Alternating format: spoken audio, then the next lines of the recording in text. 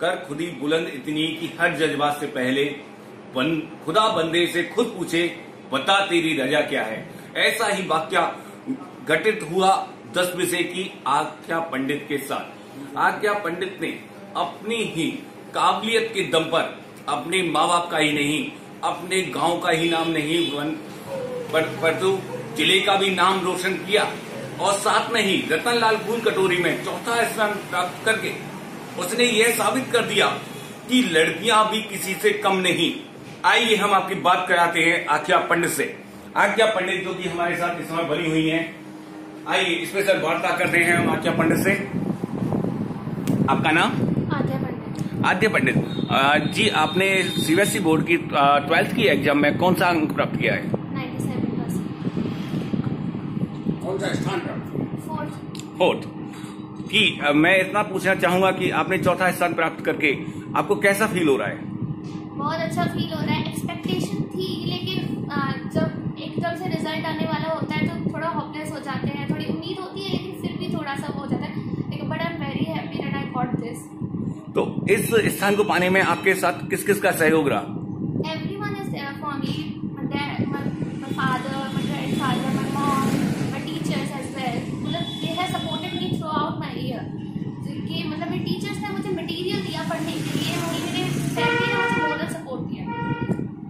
अब आपका आगे भविष्य को लेके क्या टारगेट रहेगा?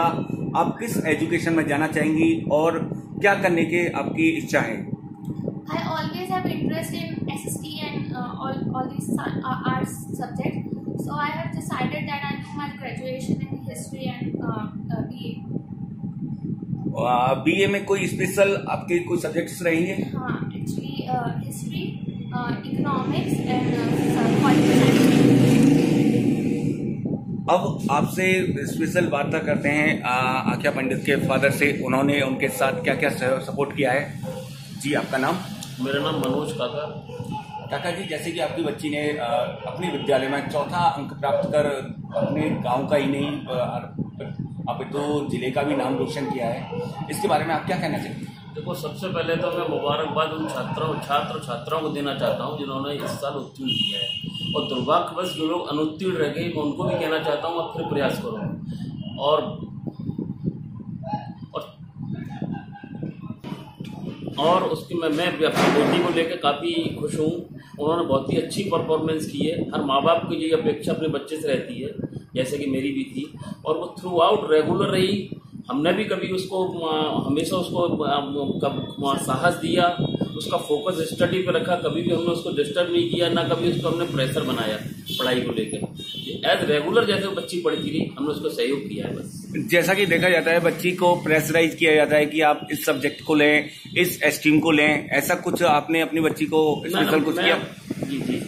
मैं आपको बताता हूँ मैं तो आप स्वयं में ही बड़ा फ्रैंक रहा हूँ शुरू से ही। तो मेरा तो हमेशा जो है बच्चा अगर पढ़ना चाहता है पढ़ो खेलना चाहता है खेलो। लेकिन आप कोई भी क्षेत्र चुनो अपना वेल फोकस रखो आप और उस क्षेत्र में आगे बढ़ो हम आपके साथ।